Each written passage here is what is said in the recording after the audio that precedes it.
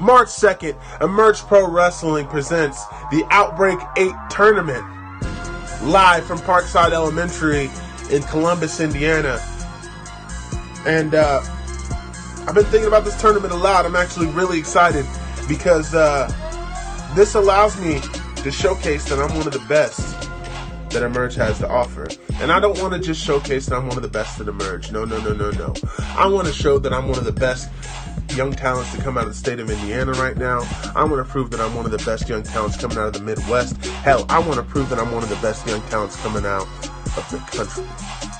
And that all starts March 2nd when I stand across the ring from my first round opponent, Austin Tyler Morris. And Austin, I don't know much about you other than you got a pretty face and you you're from Kentucky and people seem to say you're talented.